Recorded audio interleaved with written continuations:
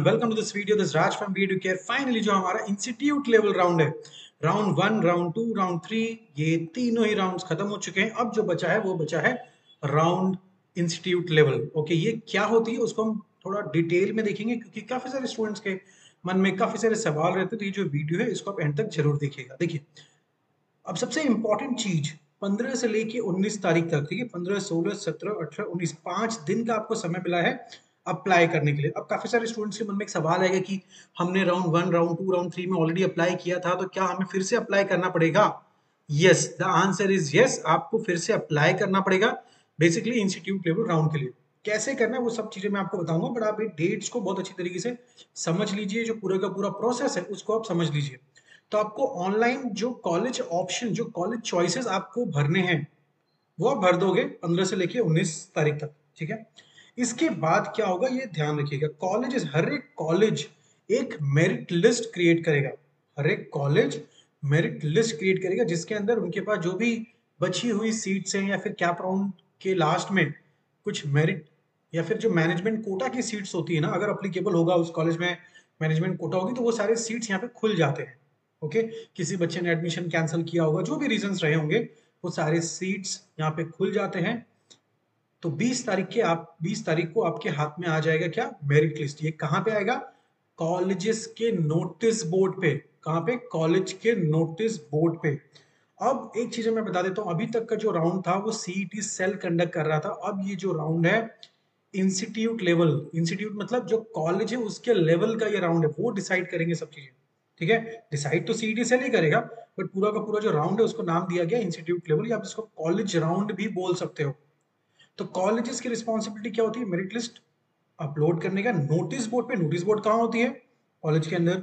Website अब कोई college website नहीं होगा या फिर नहीं चलता होगा या फिर नहीं अपडेट करेगा but it is your responsibility to visit the college and see the notice board हाँ ये जो मेरिट लिस्ट होती है, ये कैब के पोर्टल पे भी अवेलेबल होगी बट सबसे फास्टेस्ट क्या होगा? कॉलेज का नोटिस बोर्ड ये कब आ जाएगा? बीस तारीख। तो ये जो डेट है, वो संभाल के रखिए।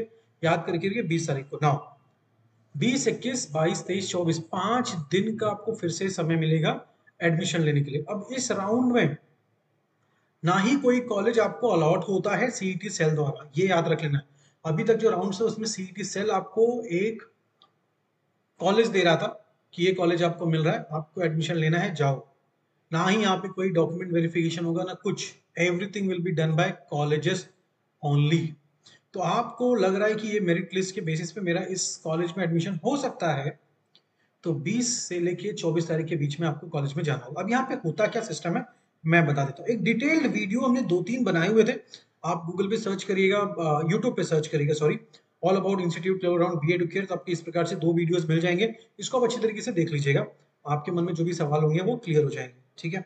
ना इसमें क्या होता है? मेरिट नंबर होता है। तीन कॉलेजेस में आपने अप्लाई किया, यहाँ पे आपने तीन ही कॉलेज रखा। Just for an example let's say आपने जीएलसी रखा आईएलएस रखा, फिर ओडिया रखा। अब जीएलसी में दो सीट खाली थी, पर आपका मेरिट नंबर है तीन। मतलब जितने बच्चे जीएलसी के लिए अप्लाई करेंगे, उसमें जो भी आपका स्कोर होगा, उसके हिसाब से मेरिट नंबर होगा। अब दो ही सीट खाली थी, आपका नंबर तीन। जैसे एक बाइक है, उस पर दो सीट खाली है और आप तीसरे नंबर पे खड़े थे। तो आपको तो नहीं मिलेगी। मिल कब सकता है? जब उसमें से एक जन ना बैठे, एक जन एडमिशन ना ले। तो आपको मिल सकता है। तो यही चीज़ें यहाँ पे भी होती ठीक है? तो जितने मेरिट नंबर जिस कॉलेज के लिए आपका कम होगा, वहाँ पे चांसेस ज़्यादा होगा। दो ही सीट खाली थी, आपका पहला ही नंबर है तो तो फिर चुपचाप जाके आप एडमिशन ले लो। राइट ये चीज़ आपको समझ गया? एंड नहीं समझा होगा तो ये जो दोनों वीडियो है, इसको आप ज़रूर देख लीजिएगा। पूरे की पूरी जो आपके मन में क्वेश्चन है इंस्टीट्यूट लेवल राउंड को लेकर वो सॉल्व हो जाएँगे। अपार्ट फ्रॉम दिस से एक नोटिस रिलीज़ किया था नोटिस को आपको अच्छी तरीके से पढ़ लेना है। देखो यहाँ पे क्या लिखा हुआ है? College option fill for round three जो लोगों ने राउंड थ्री या फिर उसके प्रीवियस राउंड को अप्लाई किया था, वो यहाँ पे कंसिडर नहीं किया जाएगा। आपको टोटली इसको राउंड फोर भी कहा जाता है। फ्रेश कॉलेज ऑप्शन आपको करने होंगे। ठीक है? हर एक चीज़ आप पढ़ लीजिएगा। कैसे करना यहाँ पे आपको इस तरीके से चीज़ें दिखेगी। यहाँ पे आपको मेरिट लिस्ट भी दिखेगा। तो ये each and everything will be there on the CAP website also okay आपको लॉग इन करने के बाद ये सारी चीज़ें आपको देखने को मिल जाएगी। एंड ये प्रिंट ऑप्शन फॉर्म ये सब चीज़ें आपको करनी पड़ेगी। अभी तक अच्छा अब एक सवाल जो सबसे बड़ा होता है, बहुत सारे लोगों के मन में आता है, जिन लोगों ने एडमिशन ले लिया है कहीं ना कहीं, किसी न किसी कॉलेज में, क्या वो अब इस इंस्टीट्यूट लेवल राउंड में पार्टिसिपेट कर सकते हैं? Answer is yes and no भी। कैसे? कुछ कंडीशन होते हैं। अगर आप चाहते हो, सीधा अगर मैं कहूँ तो आपका एडमिशन नहीं हो सकता, आप पार्टिसिपेट नहीं कर सकते हो। इस राउंड में अगर आपने कहीं एडमिशन लिया है तो। बट आप वहाँ पे कैंसल करके एडमिशन आप उस कॉलेज में एडमिशन कैंसल करके आ सकते हो फिर यहाँ पे एडमिशन पार्टिसिपेट कर सकते हो। ठीक है? तो admitted candidate are eligible to participate in institute level round provided they cancel the admission of round two round two और राउंड थ्री समझे? तो अगर आप चाहते हो कि मेरा एडमिशन इंस्टीट्यूट लेवल राउंड में हो जाए, पर ये बहुत ही रिस्की है I personally call it risky round क्योंकि आप के पास एक सीट थी अब उस सीट को आप छोड़ के दूसरी जगह जाना चाहते हैं जहाँ पे पता नहीं है कि सीट मिलेगी कि नहीं मिलेगी। आप समझ रहे हो? तो ये बहुत ही रिस्की राउंड होता है बहुत ही सोच समझ के अपने पेरेंट्स के साथ डिस्कस करके फिर आप इस राउंड में पार्टिसिपेट करिएगा ठीक है? तो ये जो पूरा का पूरा चीज़ है इसको आप पढ़ लीजिएगा एंड uh, बहुत ही डिटेल uh, में काफ़ी सारी चीज़ें इसके अंदर लिखी हैं हर एक चीज़ हम नहीं कवर कर सकते हैं। एक बार इसको पढ़ लीजिएगा बट मैं जितना आपको बताया वो इतना आपके लिए काफ़ी है। ठीक है? इतना आपके लिए काफ़ी है। And fine so that I believe आपको पता है, बहुत जल्दी कॉलेजेस भी चालू हो जाएँगे आप लोगों के।